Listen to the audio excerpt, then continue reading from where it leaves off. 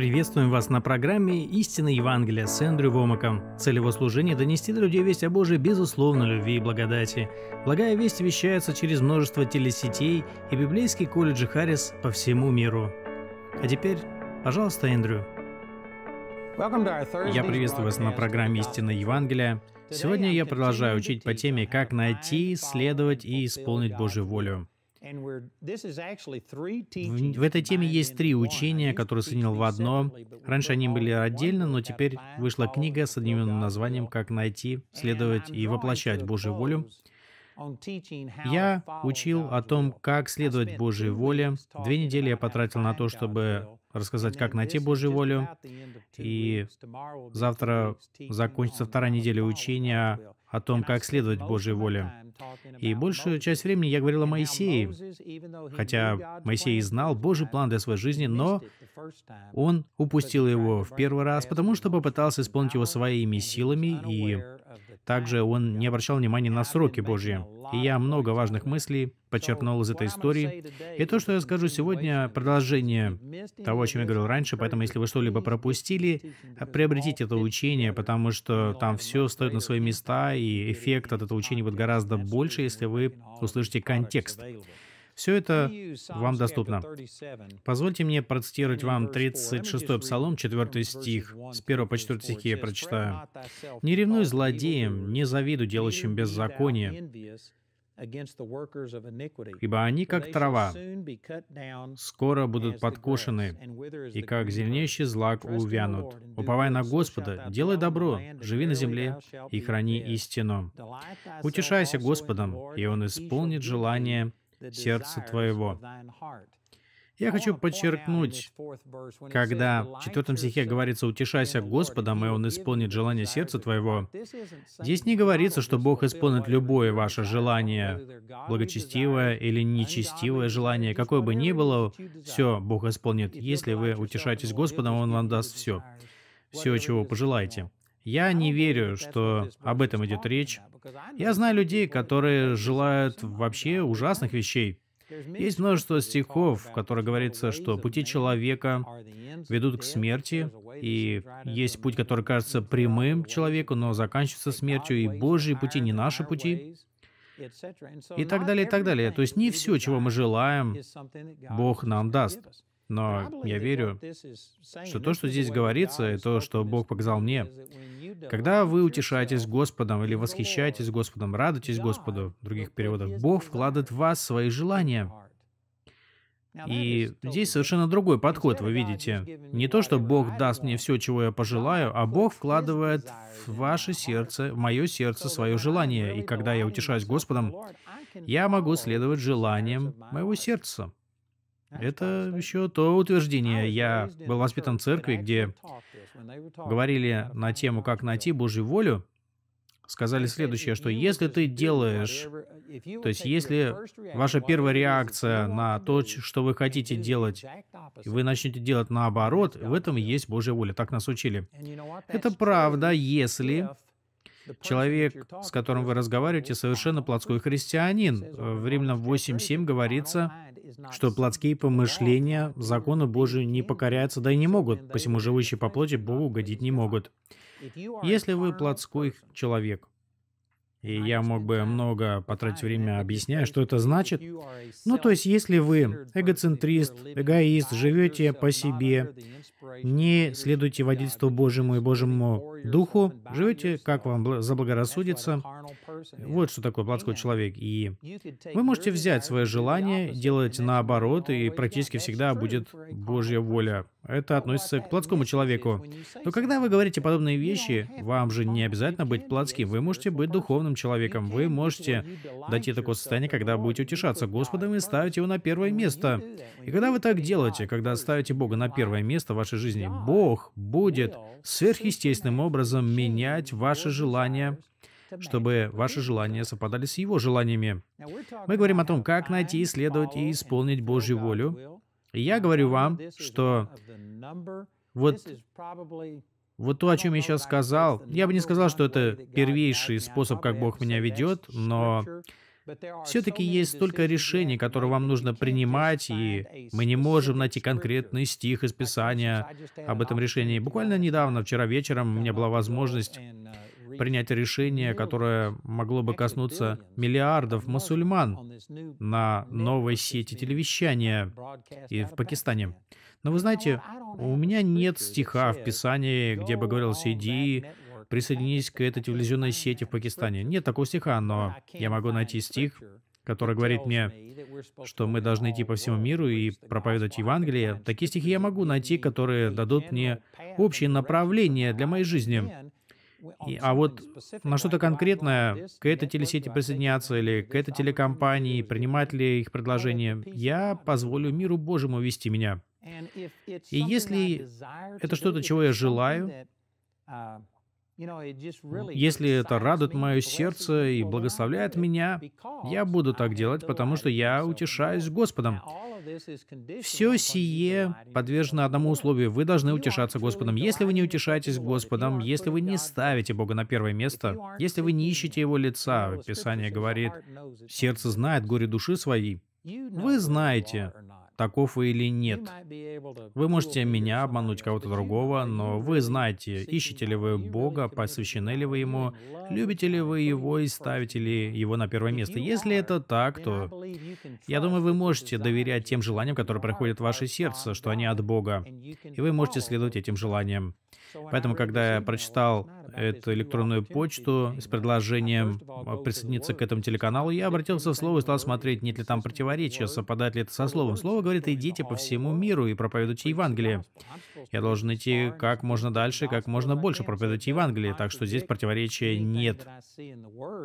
Но значит ли это, что я должен пойти на этот телеканал, конкретный телеканал. И я так обрадовался в сердце, у меня такое желание появилось присоединиться к этой телесети и начать достигать мусульман. Два миллиарда мусульман входят в сеть этого вещания. Но так как я утешаюсь Господом, что я делаю? Я иду, молюсь по этому вопросу, и чем больше я сосредоточен на Боге, чем больше я утешаюсь Господом, если желание продолжает оставаться и возрастает, то я воспринимаю это как Божье водительство. Чем больше я ищу Бога, чем больше мое внимание на Нем, и желание уходит, то значит это моя плоть. Так я для себя принимаю решения очень часто. Когда я только начал вещать на телевидении, так Бог ко мне и обратился идти на телевидение. Я не слышал голос, э, я не имел какого-то видения. Просто Бог призвал меня проповедовать Евангелие и сказал мне достигать как можно большего количества людей. Я потратил десятилетия, выступая на радио, сосредоточившись на сотнях радиостанций. Но я знал, что в конечном итоге однажды я буду выступать на телевидении. Я выступал на программах других людей, и был определенный успех. Я знал, что в будущем мне это предстоит, но я не знал, когда. И люди, которые хотели купить эфирное время для меня и показывать меня по телевидению, у меня не было мира на это дело, и у меня не было никакого желания. Я знал, что однажды все это произойдет, но на тот момент такого желания не было. Я отказался от многих возможностей, которые мне предлагали, и летом 1998 года я молился по разным вопросам, и Господь буквально вложил сильное желание в мое сердце идти на телевидение. Я не знаю, как еще вам объяснить, как все произошло. Я даже был против того, чтобы идти туда. Я знал, что однажды буду там, но я не хотел. Я видел потенциальные риски для себя. Я знал, что все это дорогое мероприятие. И если это дело не от Бога, оно может разрушить служение. И поэтому я, в общем-то, не радовался будущему выступлению на телевидении. Я совершенно не чувствовал от этого благословения и желания к этому делу.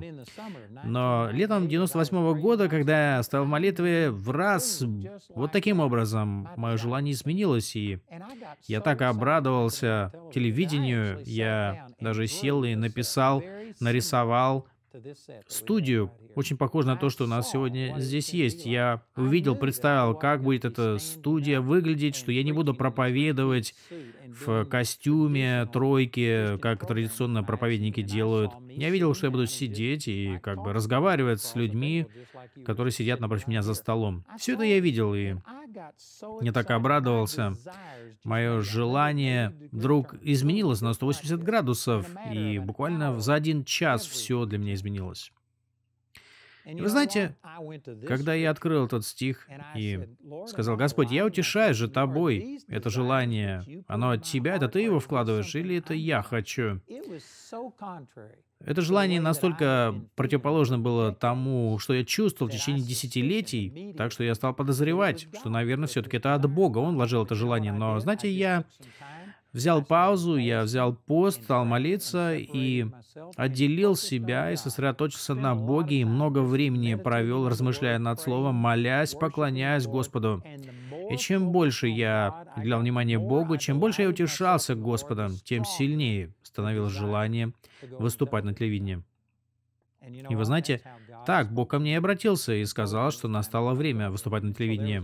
Там было еще множество других условий, которые должны были состояться, но все это и произошло, и когда мы вышли на телевидение 3 января 2000 года, наше служение буквально взорвалось, в хорошем смысле.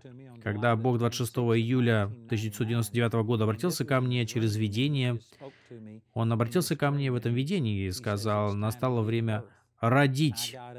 И я ночью проснулся и открыл Библию, долго там что читал. В общем, вкратце, если то, я понял, что только сейчас я начинаю служение на телевидении. Если бы что-то произошло раньше со мной, я бы умер до того, как вышел бы на телевидение 3 января 2000 года, то я бы не исполнил главное Божье предназначение для моей жизни. И все так и оказалось, и мое служение буквально взлетело, когда мы вышли на телевидение, и все это произошло через желание моего сердца. Вы знаете, что подобное произошло и с нашим библейским колледжем. Кто-то из вас слышал, как я рассказывал подобные истории раньше, но это свидетельство, сегодняшнее свидетельство, подтверждающее истинность этого стиха, как, того, как Бог нас ведет и как мы можем следовать э, за Богом через желание нашего сердца. Я никогда не хотел иметь библейскую школу, многие мне предлагали начать ее, но я видел выпускников библейской школы, которые были позором для Царства Божьего. Я не хотел производить подобных людей. Ну, в общем, там было множество причин, почему я не хотел библейской школы. И потом, летом, в июне, по-моему, 22 июня 1993 года, я был в Англии, и я проводил служение, и один человек учил о том, как мы могли делать учеников. Я был полностью с ним согласен, и он сказал одну вещь, которую я раньше не слышал. Он сказал следующее. Если вы не воспитываете учеников, которые могут делать то, что делаете вы, то вы в конечном итоге неудачник, потому что вы не будете жить вечно.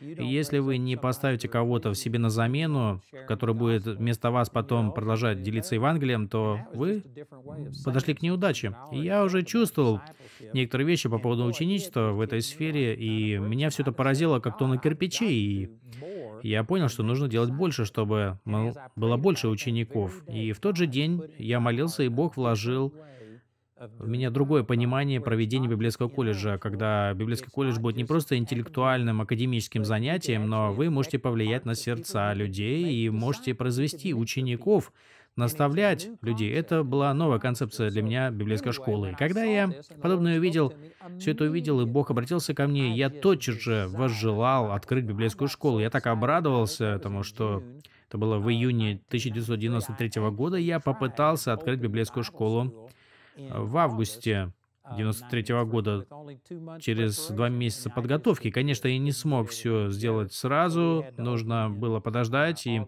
в августе 94 -го года мы открыли библейскую школу, 14 месяцев спустя, после того, как Господь впервые обратился ко мне. Я так обрадовался всему этому. Раньше мне никогда не хотелось иметь библейскую школу, а тут я не мог дождаться, когда ее начну. Желание моего сердца полностью изменилось. Знаете, это один из способов, как мы следуем видению Божьему в нашей жизни. Позвольте мне еще подчеркнуть, здесь говорится, «Утешайся Господом, и Он исполнит желание сердца твоего». Вы не можете полагаться на свои собственные желания и следовать им, если вы не ищете Бога, если вы плотской христианин, если вы на самом деле не любите Бога и не подчиняетесь Ему, и не сделали этого посвящения Господу, с которого мы начали эту тему, Римлянам 12.1, когда вы должны сделать себя жертвой живой для Господа, тогда вы не можете уповать и следовать желанию своего сердца. Но если вы сделали это посвящение, то именно таким образом в основном Бог будет вести нас в лидерстве, направлять нас через желание нашего сердца. Позвольте мне привести другой пример. Когда вы впервые родились свыше, кто-то из вас жил в грехе, каких-то сексуальных грехах, может быть, вы что-то крали, деньги крали, или принимали наркотики, или алкоголь потребляли, и занимались всеми этими делами, и вы получали удовольствие от того, что делали, утешались этим. Но когда вы родились свыше раз, и ваши желания изменились, что-то из того, что вы раньше делали годами и думали никогда не перестанете, вы просто бросили, вы возненавидели эти вещи. Когда вы стали восхищаться Господом, утешаться Господом, Иисус стал Господом вашей жизни, Он вложил новые желания в ваше сердце. То, что раньше вас радовало, Теперь вы просто все это ненавидите и не можете даже представить, что будете делать что-то подобное. Поэтому, если вы задумаетесь, большинство из вас пережили нечто подобное. Когда вы пришли к Господу, Он стал вкладывать новые желания в вас. Кто-то из вас до рождения свыше, вы никогда бы не могли бы представить, что будете ходить в церковь, и что будете отдавать деньги в десятине. Это все было очень далеко от вас. Вы думали, что те, кто так делают, они сумасшедшие, те, которые отдают часть своих денег в церковь. Но когда вы родились свыше, неожиданно Бог вложил желание в ваше сердце, все изменил. Если вы задумаетесь, большинство из нас уже пережили подобное. Таким образом, в том числе мы можем узнать водительство Божье, потому что оно полностью противоречит вашей плотской натуре, вашему прошлому. Когда я был в Сеговиле, штат Техас, и проводил служение в маленькой церкви в Сеговиле, в течение двух лет, это была первая моя церковь, в которой я был пастором, Сеговиль был маленьким местом, там не было особо каких-то радостей, довольно скучная жизнь. И многие приходили ко мне и спрашивали, почему ты отсюда не уедешь и будешь проводить служение где-нибудь еще. Мы встречались в старом банковском здании, там было 5 или 6 человек всего лишь, и иногда 15 человек набиралось. Это, наверное, самое большое количество людей, которое у нас было, и мы видели, а, как разрывали слепые. Я молился за людей, видел, как происходили чудеса, но люди не очень хорошо реагировали на меня по разным причинам. Многие говорили мне, да просто уедь отсюда, убирайся отсюда. Но я любил находиться там, в Сеговиле, в Техасе. Я молился за этих людей. Я был посвящен, чтобы остаться там навсегда, если необходимо, и Друзья мне говорили, что мне стоит уехать оттуда. Вот, возможность тебе открывается. Нет, Бог призвал меня сюда, говорил я. Я оставался там в течение двух лет. Пока однажды в один день, когда я был в здании церкви, я был там единственный, я молился и ходил туда-сюда, молился, и я посмотрел в окна и посмотрел э, на городскую площадь Сеговиля, и вдруг я ощутил нечто совершенно другое. Вместо того, чтобы любить это место, как раньше, я подумал, что я вообще здесь делаю? Кто, кто тут будет, кроме меня? Ну, я не хочу никого унизить, те, э, те, те, кто там живет, у меня там все еще есть друзья, но вдруг все мои чувства к этому месту изменились, и я захотел уехать оттуда как можно быстрее. И изменения были настолько драматическими. За день до этого я буквально любил это место, я радовался, что я там, я готов был там всю жизнь прожить, но буквально через один час все желание мое изменилось, и я хотел уехать оттуда и думал, что я здесь делаю, Бог, забери меня отсюда, из этого места. Была такая драматическая перемена, так что я сказал, это вряд ли от меня пришло. Я подобные эмоции не могу изменить так быстро. Я подумал, что-то здесь сверхъестественное. И я еще два или три часа в церкви молился и пытался понять, что это демоническая атака на меня, и он пытается меня отвлечь от Божьего призвания. Или это же Бог говорил мне, что мое время в этом городе закончилось, и Он хочет отправить меня куда-то еще. И после пары часов молитвы и сосредоточенного поиска Божьего лица, мое желание уехать из Сеговиля стало еще сильнее, чем раньше. И, основываясь на этом стихе, «Утешайся Господом, и Он исполнит желание сердца твоего», была такая драматическая перемена моих желаний. Я молился и стал полностью убежден, что Бог хочет, чтобы я уехал из Сеговиля, из Техаса. И Я не знал, куда, но я знал, что должен был уехать. И когда я продолжал молиться, все это происходило в сентябре. Я помолился и ощутил, что, наверное, 1 ноября я должен уже уехать. Я молился и потом отправился домой, собирался Джейми рассказать, потому что она также собиралась оставаться в этом месте. И я подумал, как же я и скажу подобное. У меня нет слова от Господа, не было видения, не было никаких молний с неба. Просто такое чувство в сердце, желание. Пришло другое, я приехал к Джейми домой, сказать, что случилось, и когда я пришел к дому, смотрю, стоит знак на продажу. Я зашел, спросил Джейми, что это все означает, почему ты поставила знак? Она говорит, наш хозяин позвонил и сказал, у которого мы арендовали этот дом, что 1 ноября мы должны уехать, сказал нам наш хозяин. Именно эту дату и мне показал Господь. И все это было подтверждение, и мы уехали из Сигавиля. Такова была Божья воля на тот момент. Уехать. До этого его воля была туда приехать. Его воля произошла. Я открыл для себя через утешение Господом, и Он дал мне желание сердца.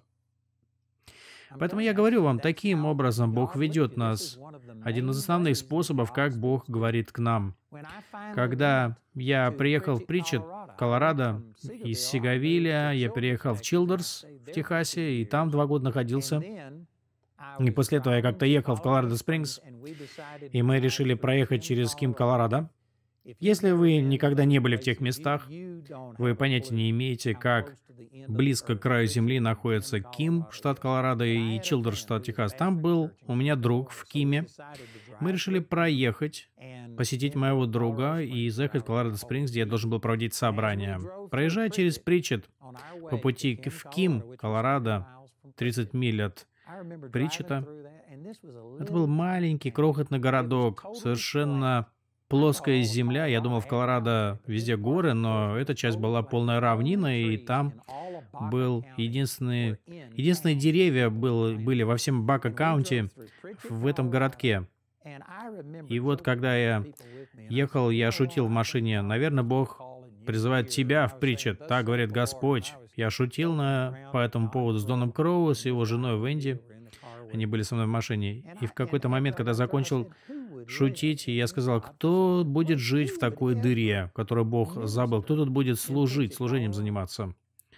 Не прошла и неделя, как Господь призвал меня ехать в это место, и один из путей, как я понял, что это от Бога, я сказал, как я чувствовал раньше, до этого, когда меня пригласили в этот город, и мне сказали, что меня ждут, я буквально влюбился в это место и возжелал там быть.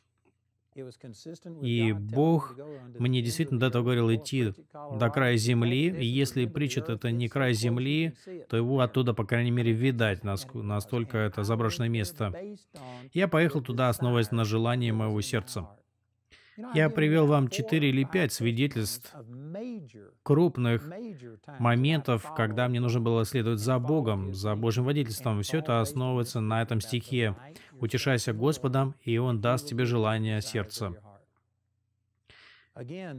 Конечно, я должен еще раз повторить, если вы не ищете Бога, не исследуйте желаниям своего сердца, потому что плотской ум враждует с Богом. Но если вы утешаетесь Господом, если вы следуете за Господом, любите Его, то вы можете следовать за желаниями, которые приходят вам в сердце. Так мы следуем за Богом. Пути Господни неисповедимы, так любят говорить люди – но правда в том, что Бог желает открывать свою волю для нас. У Него есть предназначение, путь и цель. В книге «Как найти, следовать и воплощать Божью волю» Эндрю говорит о важнейших принципах успешной и плодотворной жизни христианина. Как познавать волю Божью, как она нам открывается, какие опасности могут предостерегать нас на этом пути, что может помешать нам воплотить предназначение, а что наоборот может помочь. Из этой книги вы узнаете эти и многие другие важные особенности, как узнать, следовать и воплощать волю Божью. Для этого вы можете позвонить по телефону 8 921 993 7009 или 8 812 371 6104 или написать нам через наш веб-сайт cbtcrusha.ru. Наше зачастую неверное понимание христианства и формальный подход к вопросам веры мешает нам увидеть истинную природу и натуру Бога, который не желает ничего другого, кроме близкой дружбы с нами. Каков характер Бога? Какой он, добрый или злой? почему он такой разный в Ветхом и Новом Завете? Отвечает ли Бог на наши молитвы? Любит ли он нас по-настоящему? Вам наверняка знакомы эти вопросы, вы либо задавались ими сами, либо слышали их от других. Вам нет нужды учиться на своих ошибках. Учитесь на ошибках и победах одного из основных героев Библии, царя Давида. Из книги Эндрю Вомака «Давид. Уроки жизни» вы узнаете духовные истины о том, как быть мужем по сердцу Бога, от кого приходит преуспевание, как победить Голиафа в своей жизни. Эти и другие важнейшие библейские истины теперь доступны вам в книге Эндрю Вомака «Давид. Уроки жизни». Вы хотите изменить себя и свою жизнь, но снова и снова терпите неудачу? Возможно ли вообще измениться к лучшему и сохранить эти изменения? Узнайте способ гарантированных перемен для себя и своей жизни. В книге Эндрю Вомака «Изменения без усилий» Эндрю раскрывает секреты, которые помогут вам освободиться от ненужного бремени и войти в полноту Божьих благословений и призваний – для того, чтобы получить книгу Эндрю Вомака «Изменения без усилий», свяжитесь с нашими представителями. Контактная информация на экране. Еще раз повторим, что вы можете заказать учение Эндрю в книге на CD и DVD-дисках на его веб-сайте cbtcrusha.ru cbtcrusha.ru. Вы можете также получить эти материалы, позвонив по следующим телефонам в России 8 921 993 7009 или по телефону 8 812 371 6104. Вы также можете написать нам письмо, отослав его на адрес, который видите на экране. А теперь давайте посмотрим анонс завтрашней программы от Эндрю. Когда я увидел этот стих, то во мне внутри возник конфликт, потому что в сердце я знал, что я не должен учиться в школе, я делал так только чтобы удовлетворить эм, желание моих друзей.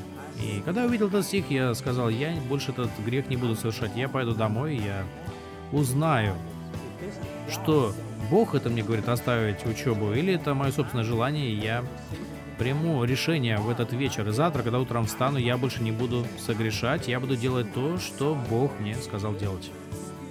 И так, что я пораньше утром встал и стал молиться, и говорю, Господь, мне нужно знать, у меня вот нет желания учиться в Мерском колледже, это от Тебя или это просто я по плоти так хочу? Как мне отличить, э, от Тебя ли это желание? Не пропустите передачу «Истина Евангелия» завтра – вы можете поддержать наше служение, чтобы мы смогли предложить вам еще больше книг и программ Эндрю Вомака на русском языке. Для этого зайдите на наш сайт cbtcrusha.ru, зайдите в раздел «Пожертвовать». Далее, следуя указаниям на экране, заполните форму слева, указав свои контактные данные. Введите сумму для пожертвования – Обязательно поставьте галочку в разделе «Новости служения». Нажмите кнопку «Пожертвовать», чтобы сделать пожертвование с помощью кредитной или дебетовой карты. Безопасность платежа обеспечивается службой Яндекс. Благодаря вашим пожертвованиям наше служение сможет и дальше распространять истину Евангелия с Эндрю Вомаком. Если у вас есть вопросы или вы хотите сделать заказ книг и дисков Эндрю Вомака, свяжитесь с нами по одному из телефонов или написав на электронный адрес, который видите на экране.